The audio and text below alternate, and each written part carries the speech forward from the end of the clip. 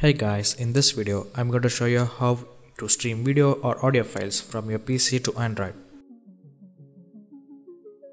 Before we begin, make sure that your PC and Android are on the same network. If not, you can create a Wi-Fi hotspot on your phone, assuming that your phone or laptop is Wi-Fi enabled by going to settings on your Android phone, more button, under wireless and networks tab, tethering and hotspot button. Then tap on setup Wi-Fi hotspot button to configure your Android hotspot, take hotspot name, assigning a password, then tap on save button. Finally switch on portable Wi-Fi hotspot button. Now connect to that Wi-Fi hotspot created earlier on your PC.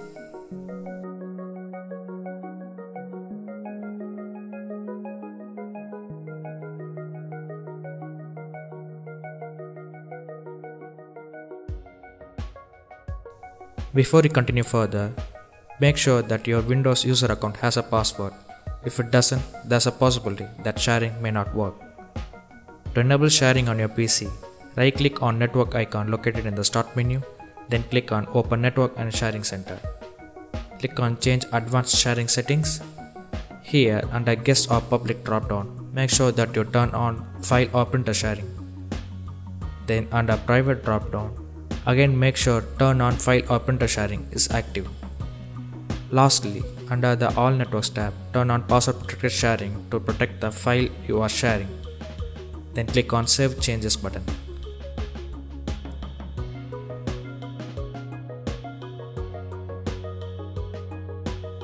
Now right click on the folder which contains video or audio files you want to stream to your Android phone. Then click on Properties. In my case, I am going to stream video file in my documents folder and under sharing tab, click on advanced sharing button.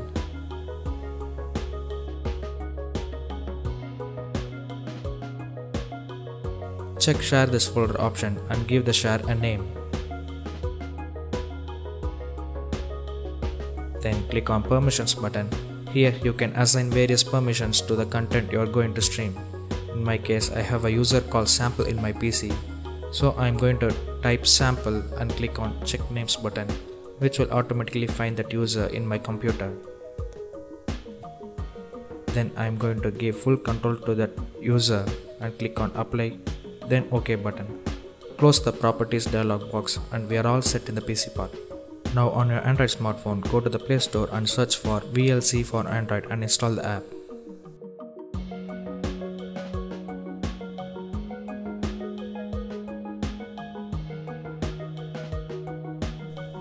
When the installation is done, open the app and choose local network option and you should see your computer listed there. Tap on it and enter your Windows PC login credentials. I have a user called sample and again make sure that user has a password.